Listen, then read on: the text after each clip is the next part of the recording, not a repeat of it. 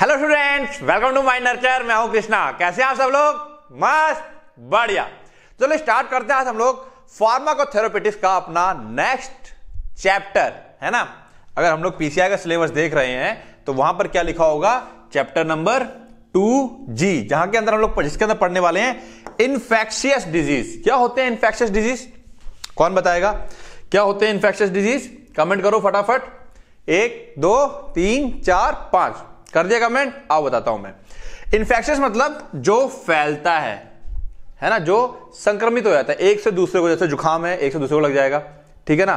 तो ऐसे डिज़ीज़ जो क्या होते हैं, फैलते हैं। अब जैसे कैंसर है, जिसको कैंसर है, वो उसी को रहेगा। चाहे वो किसी दूसरे के साथ हाथ मिलाए, कुछ भी करे, दूसरे को एक आदमी से दूसरे आदमी में कैंसर नहीं फैल सकता तो वो इन्फेक्शियस डिज़ीज़ नहीं है। तो सीधी सी बात है, इसको हम लोग कम्युनिकेबल डिज़ीज़ भी कहते हैं। क्या कहते हैं? कम्युनिकेबल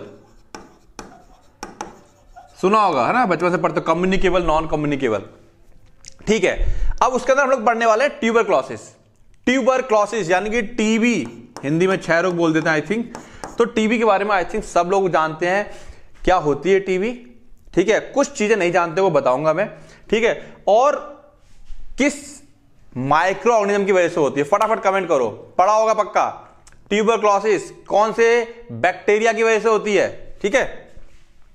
ओके तो चलो देखते हैं। जिन्होंने कमेंट कर दिया, अच्छी बात, नहीं किया, कोई बात नहीं। अब वो हम यहाँ से सीख लेंगे। तो सिंपल सी बात है, tuberculosis is a simple definition क्या है? Tuberculosis is a infectious disease कैसी डिज़ीज़ है?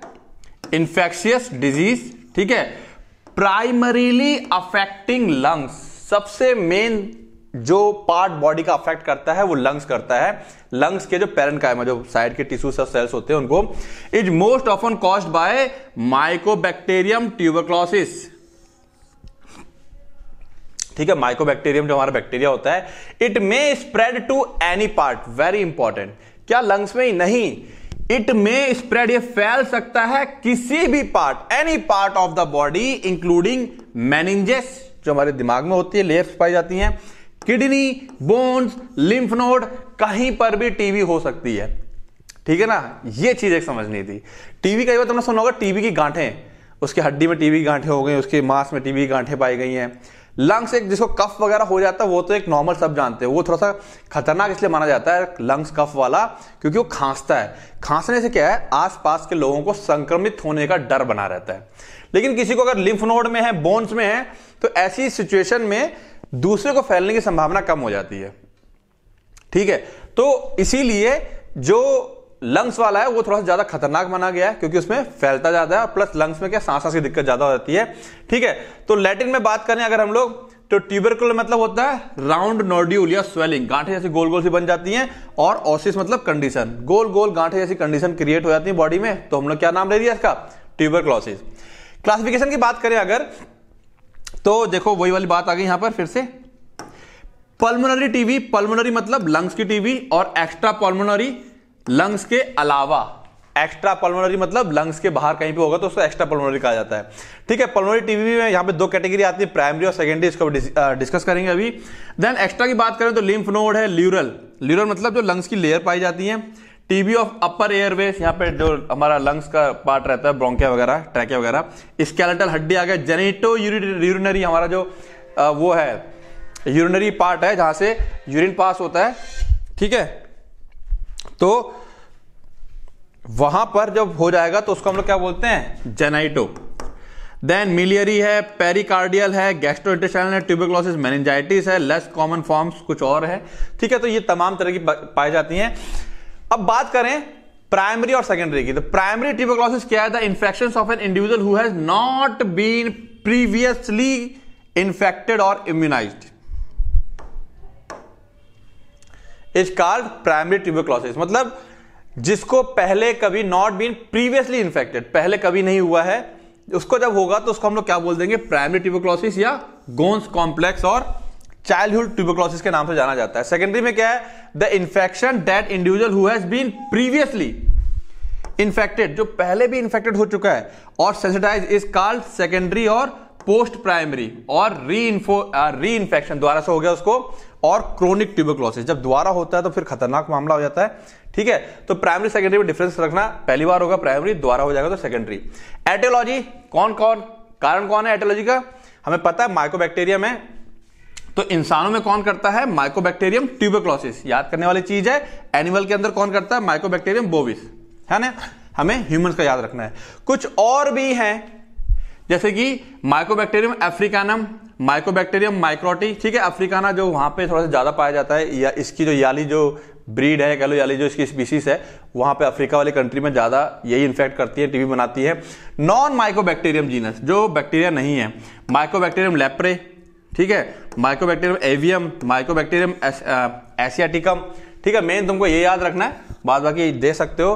फिर क्या कह रहा है? The mycobacterium tuberculosis complex MTC और MTBC is a genetically related group of mycobacterium species अगर वो बोलता है कि माइकोबैक्टीरियम टीसी कह लो टीबी टी मतलब भी ट्यूबरक्लोसिस टीबी मतलब भी ट्यूबरक्लोसिस कॉम्प्लेक्स एक जेनेटिकली रिलेटेड ग्रुप्स हैं, उनके जीन्स लगभग सेम है थोड़ा थोड़ा अंतर है। जैसे कि मैं बात करूँ इंडियन चाइनीज़ नीग्रोस जीन्स तो सेम ही है, लेकिन थोड़ा थोड़ा अंतर है। तो जेनेटिकली रिलेटेड ग्रुप है माइक्रोबैक्टीरियम स्पीसीज के। डेट कैन कॉज जो क्रिएट करते हैं ट्यूबरक्लोसिस इन ह्यूमंस और अदर एनिमल्स ठीक है? It include mycobacterium africanum mycobacterium bovis mycobacterium canettii और माइक्रोबैक्टेरियम माइक्रोटाइप तो इनको हम लोग मिला करके क्या बोल देते हैं? एमटीसी या एमटीबीसी एक कॉम्प्लेक्स ये चार पाँच हैं। जो कि क्या करते हैं टीवी क्रिएट करते हैं। बात समझ में आ गई? तो याद रख लेंगे इसको।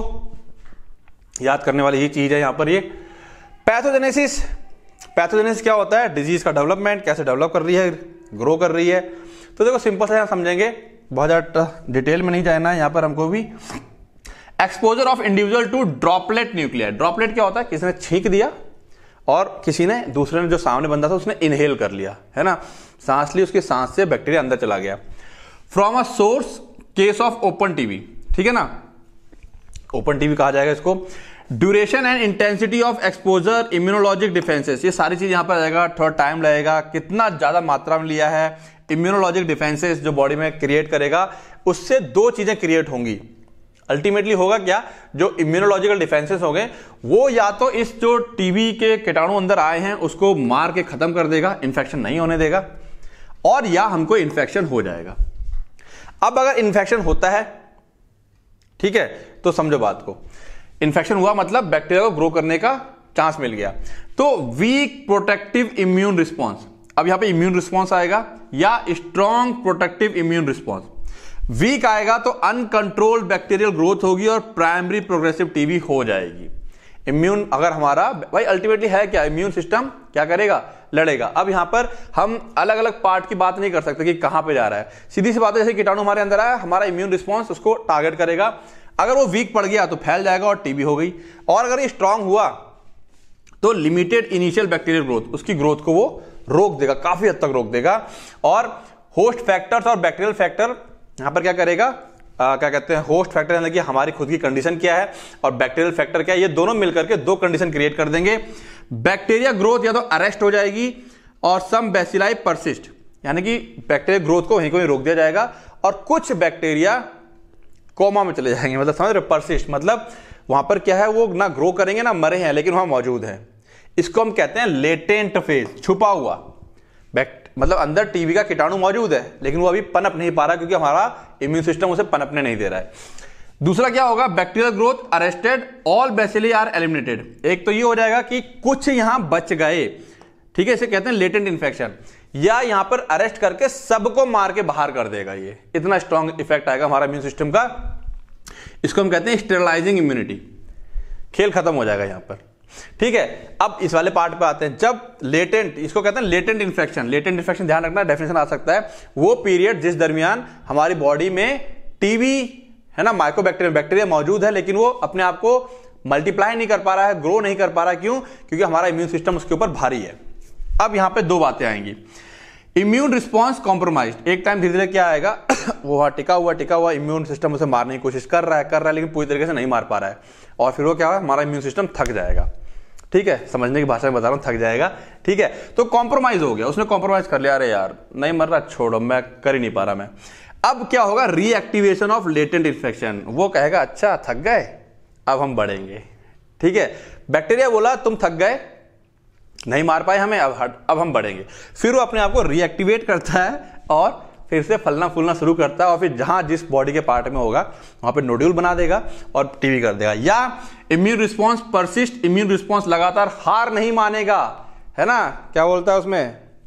कि जब तक तोड़ेंगे नहीं, तब तक रुके, रुकेंगे नहीं। तो वो इम्यून रिस्पॉन्स हार नहीं मारता है, मारने की कोशिश करता रहता है, करता रहता है, करता रहता है।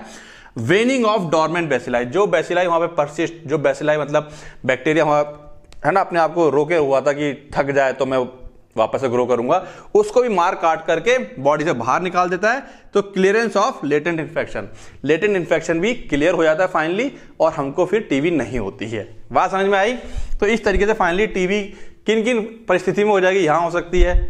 ठीक है, ये लेटेंट इन्फेक्शन आ जाएगा, और लेटेंट इन्फेक्शन के बाद अगर वहाँ पे कॉम्प्रोमाइज हो जाता है तो प्रॉपर टीवी हो जाएगी। बात समझ में आई? पैथोजेनेसिस अब क्लिनिकल मैनिफेस्टेशन बेटा, सबको पता है हमको। है ना? तो यहाँ पे मैंने जर्नल वाले लिख दिया देखो मैनिफेस्टेशन अगर आपका देखा जाए, हड्डी वगैरह में होगा तो वहाँ पे कोई ऐसा खास सिम्टम दिखाई नहीं पड़ते। ज़्यादातर जो लंग्स वाला पार्ट होता है, उसमें जब इन्फेक्शन होता है तो ज़्यादातर सिम्टम्स दिखाई पड़ते हैं। तो उसी के फीचर्स लिखे क्लिनिकल फीचर्स जो आ जाएँगे हमारे पास, है ना? क्रोनिक कफ हो सकता है। क्या हो सकता है? क्रोनिक कफ है।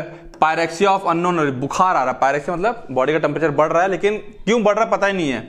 अनरिजॉल्व निमोनिया निमोनिया हो रखा, लेकिन ठीक भी नहीं हो रहा। एक्सीडेटिव ल्यूरल फ्यूजन जो लंग्स के लंग्स देखिए। है ना, ये लंग्स होती है हमारे पास। है ना तो लंग्स में जो बाहर की जो लेयर होती है, यहाँ पर ना फ्लूड भरना स्टार्ट हो जाता है। क्या भरना स्टार्ट हो जाता है? फ्लूड इसको हम कहते हैं ल्यूरल इफ्यूजन ये ल्यूरल है ना, ये हम सबको पता है, ये क्या होती है? ल्यूरल लेयर होती है। क्या होती है ये? ल्यूरल लेयर होती है तो यहाँ पर फ्लूड भरना स्टार्ट हो जाएगा। Asymptomatic diagnose on C, chest X ray. C X R मतलब चेस्ट एक्सरे में ये दिखता नहीं है। वेट लॉस होना स्टार्ट हो जाएगा। स्पॉन्टेनियस नीमो थॉरेक्स ठीक है ना? नीमोथोरेक्स होता है हमारा, क्या कहते हैं, जो ये होती है, जहाँ पे जो एयर होती है, यहाँ की जो एयर होती है लीक होकर यहाँ आ जाएगी।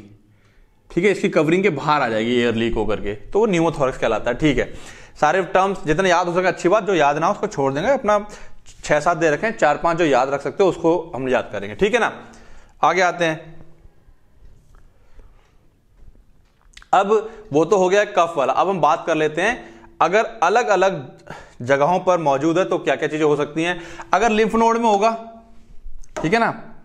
अगर लिम्फ नोड में होगा तो एक एक चीज़ याद रख लेंगे। Typical enlargement of cervical lymph node एक एक याद रखेंगे, बाकी सब छोड़ देंगे। ठीक है ना? ऐसे एक्सिलरी मेडिटेशन फिर बहुत ज़्यादा टफ हो जाएगा। ल्यूरल टीवी में ल्यूरल इफ्यूजन यूजुअली यूनिलेटरल तो ल्यूरल इफ्यूजन मैंने बताया इफ्यूजन क्या होता है? लिक्विड आ जाता है। हार्ट में आएगा तो पेरिकार्डियाटिस इंफेक्शन हो जाएगा वहाँ पर, ठीक है? और अपर एयर पे हो जाएगा तो laryngeal TB hoarseness and pain गला भारी हो जाता है, आवाज़ भारी हो जाएगी और दर्द होगा। Paranasal sinuses nose and ear नाक, कान यहाँ पे कहीं पे हो रहा है तो ट्यूबरक्लोसिस टाइटिस है ना, कान वाला। ग्रेन्युलोमोटस लेसन जख्म आ जाएँगे वहाँ पर विद नेशनल डिस्चार्ज नाक से बहुत ज़्यादा पानी जैसा निकलेगा, ठीक है? ऑब्स्ट्रक्शन एंड सेप्टल ठीक है? ये दो याद कर लेंगे यहाँ पर। ऑक्यूलर आँख की बात करें तो यूवेटाइस कंजक्टिवाइटिस क्रोनिक ग्रेन्यूलोमेटस है ना? दाना गांठ जैसे पड़ जाएगी। तो यूवेटिस और कंजक्टिवाइटिस ये टर्म्स तुमको याद होंगे अच्छे से तो ये दो याद कर लोगे। सेंट्रल नर्वस सिस्टम में आ जाएगा तो मैनिजाइटिस याद कर लोगे। क्या हमें सिम्टम दिखाई पड़ेगा इसका? मैनिजाइटिस दिखाई पड़ते हैं। तीन चार और है इंसेफेलोपैथी भी है, जो डिस्कस कर चुके हैं हम लोग पहले, ठीक है? अब स्केल्टल की बात करें तो क्रोनिक ऑस्टियोमेलाइटिस है। Then mono arthritis usually weight bearing joints यानी हम सीधा लिखेंगे वेट बेरिंग ज्वाइंट्स में आर्थराइटिस हो जाती है, वहाँ पे क्या आएगी, हमें दिक्कत आती है। गैस्ट्रो इंटेस्टाइनल अगर पेट का हो जाएगा तो क्या हो जाएगा? एब्डोमिनल पेन आ जाएगा डायरिया ठीक है ना? डायरिया हो जाएगा। इलियोसिकल डिज़ीज़ जनरली इलियोसिकल जो पार्ट होता है हमारा इलियम और सिकम वाले पार्ट में, वहाँ पे अफेक्ट करेगा ये। फिस्टुला हो जाएँगे। तो ये कुछ मेन मेन टर्म्स तुम्हें याद रखने, जो तुम्हें इजिली याद रह जाए, ठीक है ना? बहुत सारे टर्म्स दे रखे हैं यहाँ पर। आगे आते हैं जेनाइटो यूरिनरी जेनाइटो मतलब जेनाइटर मतलब हो गया रिप्रोडक्टिव पार्ट से और यूरिनरी मतलब यूरिनरी पार्ट से. मिक्ट्रिएशन फ्रीक्वेंसी बढ़ जाएगी डिस यूरिया हेमेटो यूरिया ठीक है ना? फ्लैंक पेन उसके आसपास के एरिया में पेन और दर्द होगा. Renal calcification calculi kidney stone बनना स्टार्ट हो जाएगा. तो ये तमाम चीज़ें यहाँ पर हमको देखने को मिलेंगी. मेल जेनाइटल ट्रैक्ट की बात करें, जो रास्ता है, उसमें एपीडीडाइमिटिस ठीक है ना? एपीडीडाइमिटिस मतलब जो एपी एपीडीडाइमाइस होता है जो हमारा टेस्टिस से निकलता है पार्ट, वहाँ पर उसमें इंफेक्शन हो जाएगा। Calcification of vas deferens hard हो जाएगा वो टफ उसमें कैल्शियम जमना स्टार्ट हो जाएगा। ठीक है, कहाँ कहाँ पर? वास्ट डेफरेंस में सेमिनल वेसिकल में और प्रोस्टेट में। उम्मीद करता हूँ ह्यूमन एंटोमी का जो रिप्रोडक्टिव पार्ट वाला चैप्टर था, ये सारे टर्म्स तुमको याद होंगे। ठीक है? फीमेल जेनेटिक ट्रैक्ट इनफर्टिलिटी हो जाएगी पेल्विक इन्फ्लेमेशन पेल्विक मतलब कमर के आसपास में इन्फ्लेमेशन रहेगा। तो ये तमाम है, इसमें सारे भले ना याद करो, कुछ खास खास याद रख लोगे, उनकी एक एक वर्ड याद रख लोगे कि अगर यहाँ पे हो जाएगा तो ये क्लिनिकल मैनिफेस्टेशन यहाँ पे होगा तो ये हो जाएगा, ऊपर लंग्स वाला पार्ट था, ठीक है ना? नॉन फार्माकोलॉजिकल मैनेजमेंट की बात करें अगर हम लोग तो क्या बोल रहा है? Medical staff must wear high efficiency disposable mask medical staff को मास्क ज़रूर पहनना है अदरवाइज़ पेशेंट से उसको हो सकता है। Isolate patients with possible tuberculosis infection in a private room ठीक है ना? पेशेंट को क्या रखना है? आइसोलेट करके रखना है। दूसरों से अलग करके रखना है। Encourage patient to follow good cough hygienic है ना? उसको कोशिश करना कि जब भी कफ आए तो रुमाल या किस तरीके से वो छीट मतलब है ना छींके तो चारों तरफ़ ड्रॉपलेट ना आए उसके। Provide vitamin and mineral supplement when required है ना? विटामिन और मिनरल सप्लीमेंट देने हैं उसको। इंटीग्रेटेड न्यूट्रिशनल असेसमेंट काउंसलिंग है ना? काउंसलिंग न्यूट्रिशन क्या खाना खाना है? कौन कौन से खाना तुम्हारे ज़्यादा अच्छे रहेंगे? Support for the duration of the illness कि कितने समय आपकी बीमारी चलने वाली है, उसमें पूरा सपोर्ट ये सारी चीज़ें मिलेंगी। तो नॉन फार्मोकोलॉजिकल मैनेजमेंट ठीक है ना? नो डाउट नॉन फार्मोकोलॉजिकल इसको पूरी तरीके से ठीक तो नहीं कर पाएगा, लेकिन हाँ एक सपोर्ट रहता है, ठीक है? हेल्प मिलती है। फार्मोकोलॉजिकल में, है ना? ये जो है हमारे पास ओके तो क्या आ जाएगा यहाँ पे? फ़र्स्ट लाइन ड्रग कौन सी हमारे पास? ये सब हम लोग पढ़ चुके हैं। आइसोनियाजिड, रेफेम्पिन, रेफेम्पिटीन रिफैम इथैम्ब्यूटॉल, है ना? इथैम्ब्यूटॉल, आइसोनियाजिड, रेफेम्पिन, है ना? ये चलती हैं डोज में। खाली पेट चलती हैं कुछ और कुछ। ठीक है, आगे आए। सेकंड लाइन ऑफ़ ड्रग में कौन कौन है? लिवोफ्लॉक्सोसिन ये एंटीबायोटिक है। मॉक्सिफ्लॉक्सोसिन एंटीबायोटिक गैटीफ्लॉक्सोसिन एंटीबायोटिक है। एमिकासिन और कैनामाइसिन ये क्या है? एंटीबायोटिक है। लिखा हुआ है not approve by the food and drug administration for use in the treatment of tuberculosis ये अप्रूव नहीं है, लेकिन यूज़ किए जाते हैं, ठीक है? फिर यहाँ पर इथियोन एमाइड है और साइक्लोसेराइन है। ये जो ड्रग्स हैं एंटीबायोटिक इस्तेमाल किए जाते हैं बट ये अप्रूव नहीं है बट मेन हमको ये ड्रग पक्का लिखोगे। ये भले ना लिखो, ये पक्का लिखोगे फार्माकोलॉजिकल मैनेजमेंट में। क्लियर है बातें? बात समझ में आ गई है? ओके तो मेरे ख्याल से जो ये था तुम्हारे पास, ये पार्ट तुमको अच्छे से समझ में आया होगा। तो बस ये ड्रग्स जैसे याद कर लोगे तो ये वाला लेक्चर हमारा फिनिश हो जाएगा। और ये अपना माइंड नर्चर ऐप के बारे में कुछ बातें आ गई हैं। तो छोटे छोटे लेक्चर आएँगे, जैसे मैंने कहा है और बताया है छोटे छोटे लेक्चर आएँगे और हमको डायरेक्ट पढ़ना है इसकी डेफिनेशन ठीक है ना? और aetiology pathogenesis clinical manifestation pharmacological non pharmacological management उसके अलावा हमें कुछ याद, ज़्यादा याद रखने की ज़रूरत नहीं है। हाँ फार्माकोलॉजिकल मैनेजमेंट में दो दो, तीन तीन खास खास दवाइयाँ पक्का याद रखें, ठीक है ना? वो तो लिखनी ही पड़ेंगी। क्लियर है बातें? ओके तो ये अपना ऐप है। ऐप का नाम अपना माइंड नर्चरी है, जो कि यूट्यूब पर यूट्यूब पे तो चैनल है प्ले स्टोर पे अवेलेबल है, ठीक है ना? ये मेरा नंबर है, कभी कोई प्रॉब्लम आती है तो नोट्स डिस्क्रिप्शन में अवेलेबल है, ठीक है ना? अगर नहीं है तो आ जाते हैं वो, ठीक है ना? परेशान नहीं होना उसके लिए। और ये ऐप के अंदर सारे फीचर्स आपको मिलते हैं। तो पढ़ते रहें रिवाइज करते रहें ऑल द बेस्ट